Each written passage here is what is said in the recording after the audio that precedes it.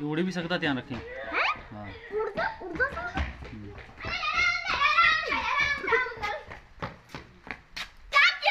ਧਿਆਨੇ ਨਾਲ ਜ਼ਹਿਰੀਲਾ ਹੁੰਦਾ ਹੈ? ਇਹ ਚੱਲ ਇਹ ਤਾਂਗੜ ਦੀ ਇਹ ਪੈਰ ਕਿਹੜਾ ਭਰਾ ਕਰ ਦੇਣਾ ਹੈ ਇੱਕ ਮਿੰਟ ਛੋਟੀ ਬੜੀਆਂ ਚੀਜ਼ਾਂ ਨਾ ਮਰੀ ਜਾਣਾ ਨਹੀਂ ਛੋਟੀ ਪਤਲੀ ਚੀਜ਼ ਹੈ ਇਹਦੀ ਓਏ ਓਏ ਇਹਦੇ ਨਾਲ ਨਹੀਂ। ਕੋਈ ਪਤਲੀ ਚੀਜ਼ ਦੇ ਤੀਲੀ ਦੇ। ਕੋਈ ਪਤਲੀ ਇਹਦੇ ਸਾਈਜ਼ ਦੇ ਨਾ।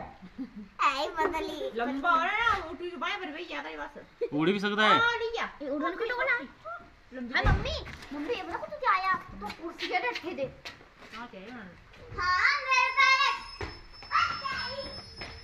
ਠੀਕ ਕਾੜੇ ਤੋਂ ਇਹ ਜ਼ਹਿਰੀਲਾ ਹੁੰਦਾ ਜਿੱਤਨਾ ਦੇ ਦੇ ਰੱਖੀ ਦੇ ਤੋ ਅੱਗਾਂ ਤੇ ਪੈਨਾ ਕਰਿਓ ਇੰਨਾ ਵਾ ਚੁੱਕਾ ਇੱਕ ਮਿੰਟ ਰੁਕੀ ਇੱਕ ਮਿੰਟ ਰੁਕੀ ਇੱਕ ਮਿੰਟ ਰੁਕੀ ਇਹਨਾਂ ਨਹੀਂ ਗਾਂ ਤੇ ਚੁੱਕਣਾ ਮਰ ਜਾਣਾ ਨਹੀਂ ਤਾਂ ਇਹ ਕਾੜਾ ਉੱਚਾ ਕਰਨਾ ਤੇ ਇਹਦੇ ਗਲੇ ਹੁੰਦੇ ਸੋਠੀ ਰਾਸਤਾ ਸੇ ਇਹਦੀ ਪੂਛ ਪਿੱਛੇ ਤੇ ਦੂਜੀ ਕੋਈ ਜਿਤਾ ਨਹੀਂ ਸੀ ਇਹ ਉਹ ਆ, ਉਹ ਹੈ ਕਿੰਨਾ ਲੰਬਾ ਨਾ ਇਹ ਪੂਛ ਦੀ ਪਿੱਛੇ ਜੋ ਕੋਈ ਉਹ ਹੁਣ ਹਿੱਲੀ ਹੈ ਇਹਦੇ ਚ ਬਹੁਤ ਠੰਡ ਲੱਗੀ ਹੋਈ ਵਿਚਾਰਾ ਮੈਂ ਤਾਂ ਦੇਖਾ ਕਿ ਇਹ 2.5 ਫੁੱਟ ਲੰਬਾ ਹੈ ਚਾਚੂ ਇਹ ਬੰਦੇ ਨੇ ਕੋਈ ਛੋਟਾ ਹੈ ਨਾ ਉਹ ਤੇ ਸੂਈ ਹੋਣਾ ਹੈ ਸੂਈ ਹੋਣੀ ਹੈ ਨਹੀਂ ਨਹੀਂ ਇਤਨੇ ਛੋਟੇ ਲੰਬੇ ਬੱਚੇ ਥੋੜੀ ਹੁੰਦੇ। ਹਾਂ।